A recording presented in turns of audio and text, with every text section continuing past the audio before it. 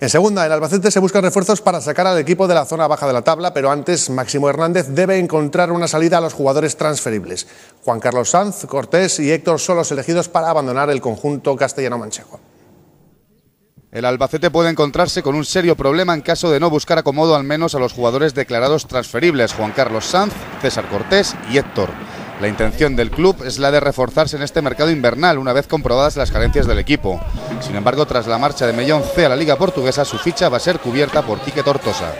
La verdad es que ahora la rodilla ni, ni me acuerdo, que es lo, lo, que estoy más contento, ¿no? Tengo problemas musculares, a lo mejor con, con la pierna buena, hasta incluso, pero la rodilla la verdad es que fenomenal. Por tanto, al Albacete no le queda ninguna ficha libre. El dejar sin ficha jugadores con contrato en vigor suele ser una práctica habitual en el mundo del fútbol, pero es ilegal, por lo cual estos pueden acogerse a sus derechos. Cuando llegue el día 31, hasta ahora tengo ficha, cuando llegue el día 31, pues está claro que yo lucharé por mis derechos, ¿no? Entonces, pues ya miraremos lo que se hace, ¿no? Pero bueno, por ahora estoy entrenando y, y bien y esperando, pues ya te digo, que, pues que nos digan algo desde de parte del club. Nuevo inconveniente el que se le presenta a un Albacete que necesita reforzarse, que vio como en anteriores temporadas jugadores como Ferrón o Rubén Martín aceptaron quedarse sin ficha, pero en otras, como en el caso del Tony Pacheco, que obligaron al club a inscribirlos en la Liga de Fútbol Profesional. De vuelta a nuestra región, nueva sesión de trabajo del Albacete Balompié y pendientes del futuro de David Cañas. No cuenta para Quique Hernández y podría marcharse del club. El centrocampista sevillano empieza a estar cansado de su situación. Con tan solo 20 minutos jugados, todo empiezan a ser excusas difíciles de sostener para tratar de justificar el que no se cuente con él. Estoy un poquito cansado de, de la excusa del tobillo, de que si el sobrepeso, que yo creo que las estadísticas están ahí, el que quiera llevar control del peso que, que lo mire en la hoja que lo ponemos todos los días y, y bueno, yo, te, yo, tengo la alta médica de, del tobillo hace, de la semana antes del, del día del Nasti y estoy en perfectas condiciones para, para si el míster lo cree oportuno, pues, pues poder entrar en el 11. ¿no? Una situación incomprensible que le hace pensar en una salida del club.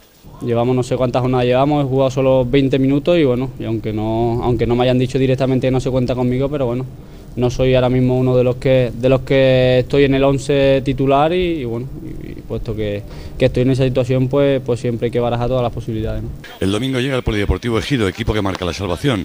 Ante este reto, el mediocentro sevillano pide unidad. Ahora mismo la situación en la que está, lo único que, que queda es la unidad de, todo el mundo, tanto, tanto del entrenador como de la plantilla como de la directiva, porque, porque en estos momentos débiles, en el momento que haya una, una pequeña grieta, se va todo al garete. ¿no? En cuanto a la presentación oficial de Alustiza, por el momento, nada de nada.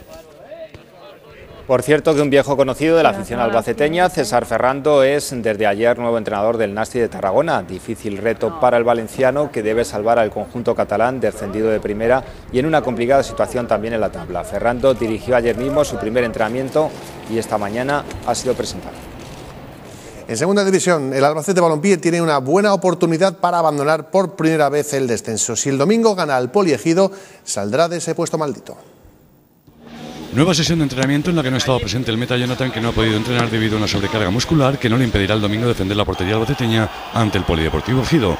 Un partido que, tal y como reconocen los jugadores albaceteños, es una auténtica final.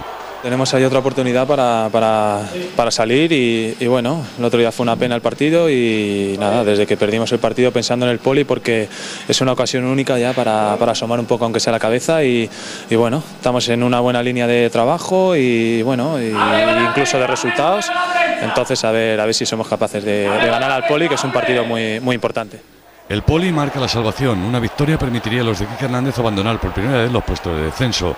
Un partido vital en el que el miedo a perder puede estar muy presente.